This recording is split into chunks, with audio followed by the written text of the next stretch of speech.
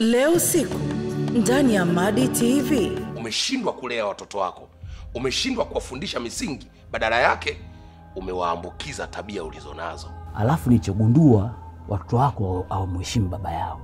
Sasa nataka kitu hiki ukantambushe kwa watoto wako. Alifanya ndo mara kitaa anifahamu, nitamwanzishia falankati hapa hapa msibani. Unadhani hiyo hadisi yako inaweza kuhalalisha ndugu wangu mimi na wewe?